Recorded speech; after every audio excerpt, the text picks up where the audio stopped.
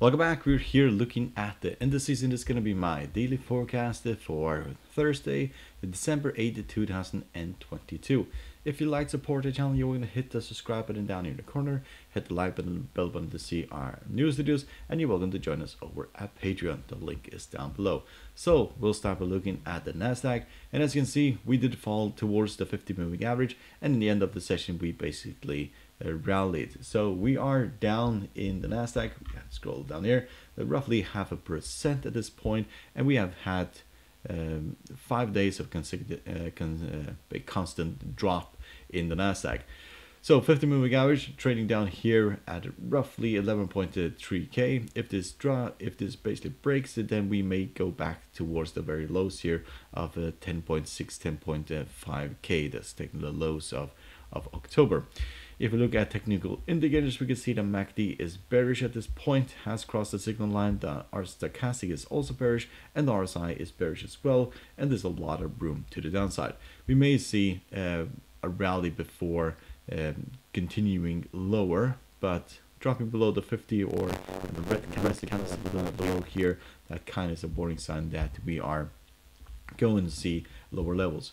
To the upside, 200 moving average, most likely traveling in this direction if we rally to that point in the past, if we scroll back, we have seen that we have rallied above and also near the 200 moving average and gotten rejected.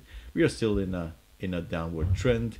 There's nothing really has um, changed here. So even though we see a rally here, it is very likely that we are going to see um, selling pressure occurring when we get to towards the 200 moving average. So let's look at the S&P 500 and as you can see similar story here 200 moving average or the area of the 200 moving average has been significant in the past and it looks like history is just repeating itself. We are still within uh, this downward trend and getting close to that was terrible um, here we tested it three times now and it looks like we are about to just continue uh, this downward move to the downside. The lowest here of October is 3,492 give or take and breaking below the 50 moving average which we are um, most likely going to test within the next few trading days uh, that will probably open the door back towards the very lows as this looks just, just like a continuation of the moves that we have seen for 2022 breaking above the 200 moving average uh, or the upper trend line that opens the door back towards the highs here of 3000 uh, first of all uh, 4200 then 4300 uh, and then beyond that. If that technically occurs then we most likely see a trend change in the S&P 500 if we look at technical indicators, we can see the MACD is still is bearish at this point. It has crossed the signal line in bullish territory. Stochastic is bearish and RSI is also bearish, and there's a lot of room still to the downside. So let's look at the Dow Jones. So Dow Jones has been far more bullish than the other uh, European U, uh, US indices, and but we're still within a range here that has been significant in the past and we tested it and got rejected. And usually that is not a very good sign. At this point we are dropping and heading towards the 200 moving average which is most likely going to move in this direction.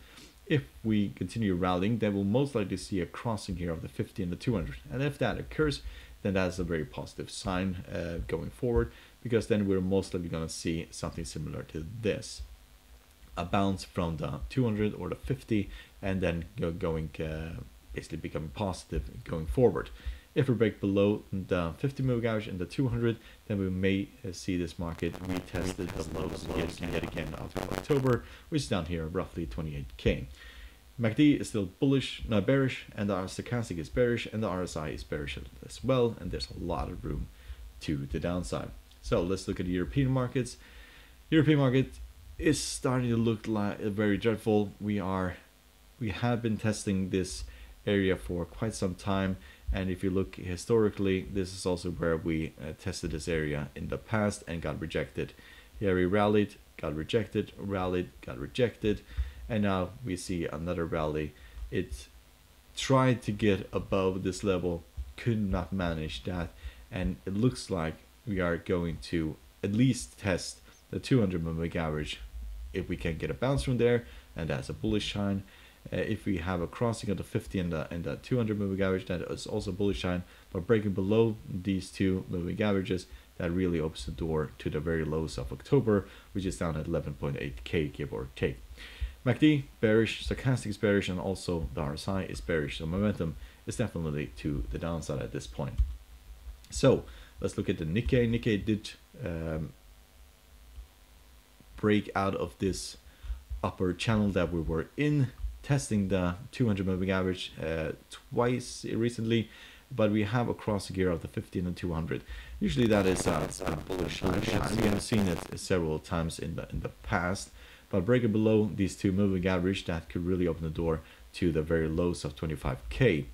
If US and European stock markets go to um, start falling, then we'll mostly see the same thing for uh, the Nikkei.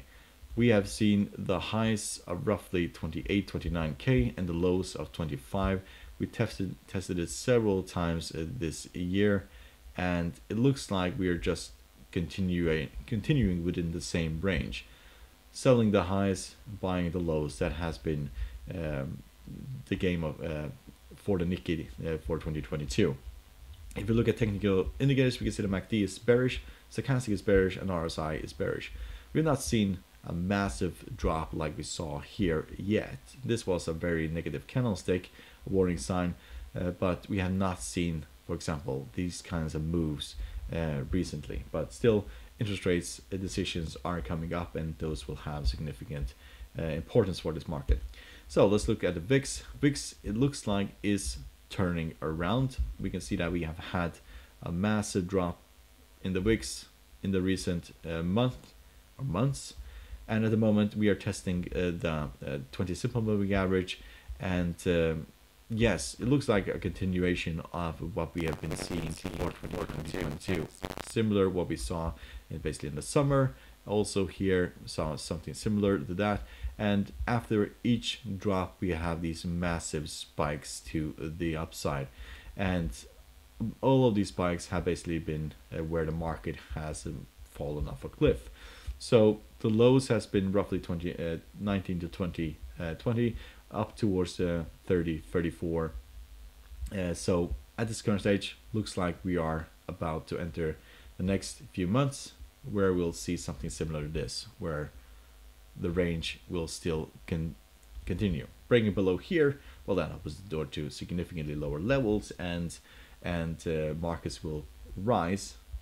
Going back to the highs, markets will uh, fall. If you look at technical indicators, they do uh, support this theory that uh, MACD is becoming bullish. Stochastic is also bullish, and RSI is also bullish after being significantly oversold. So let's look at the 10 year 10 year continues to drop and as long as does that markets will still rally so we are down 2.6% today and still looks like we are going to test the 200 moving average if we are going to bounce from this market. We are still at the, the lower part of this range so we may see this market bounce towards the highs before going lower. Uh, but if you look at technical indicators, we can see the MACD is still bearish, is bearish, bearish side, it's also bearish, and we are 31. We are on the edge of being oversold, and therefore we probably will see a few days where this was rally will rally and that will be negative for uh, especially stocks as interest rates are expected to rise. So hope you find this helpful. If you want to support channel by subscribing, hit the like the bell button to see our new, newest videos, and please do your own due diligence before trading in the markets. Good luck and thank you very much.